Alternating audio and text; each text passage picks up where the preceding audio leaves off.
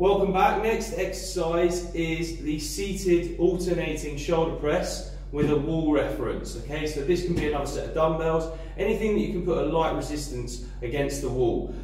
The reason why we're going to do that is the brain and the core love to have references with the floor or the wall, okay? And so you'll find that if you just engage um, a little push on the wall, you'll get a really nice core contraction whilst you're shoulder pressing. So for the shoulder press, you're going to alternate. So one is going to lift up after the other.